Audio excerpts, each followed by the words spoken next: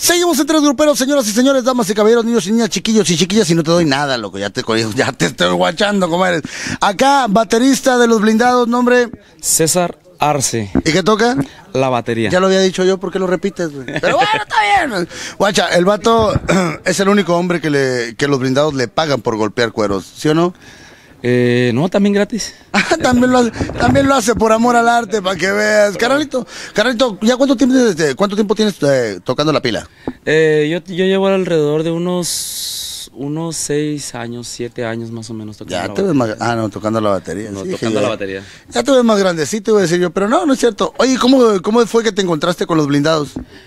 Pues mira, eh, yo empecé tocando mm, de chiquito pues, en una iglesia. luego me salí, sí, eh, empecé tocando en una iglesia, luego me salí. ¿Sí te corrieron? me invitaron a una banda de rock, ah. luego entré a otro grupo. Y, y, este, y me los topé con ese grupo, a los muchachos de blindados ahí, nos los topamos. Yo pienso que, que les gustó como, como toco yo en lo personal. Y pues ahorita yo, yo estoy con ellos trabajando.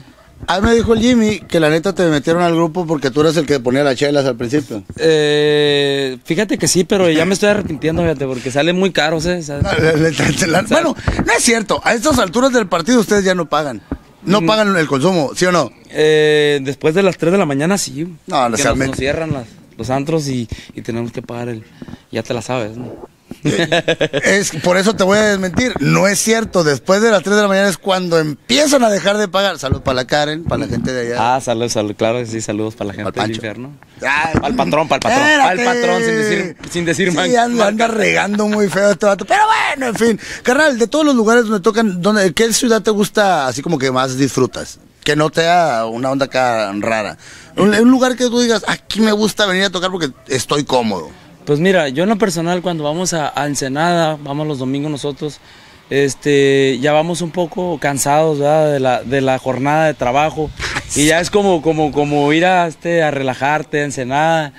Y, y ya se va llegando la hora de tocar y todavía nosotros dormidos, pero disfrutamos mucho el clima de Ensenada, es mi, mi lugar en lo personal, mi lugar preferido. Oye, y por ejemplo, eh, yo sé que los bateristas alucinan con tener una super pila, acá, un super sed acá bien machine. ¿A ti, en lo personal, te gusta más el rollo de ir al, antro, una cosa así en contacto directo con la gente, o el masivo y acá el montones de, de platillos y tambores y todo el show? Pues mira, al principio yo, yo era mi sueño tener este, una batería con muchos platillos, tambores, pero ahora como conforme ha ido pasando el tiempo, pues ya nomás ahora con dos platillos y lo normalito va. Ah, es sencillo el vato. Sencillito, Sencillito, claro. Sí, lo que pasa es que a ti te toca cargar la pila antes y después, entonces dices, mejor dos tamborcitos. Ándale, uy, pues. sí, no habrá manera de que traigamos una eléctrica en una maletita, ¿no? Una que se, no, ya, ya compré una que se infla. Así se infla y... una que se infla.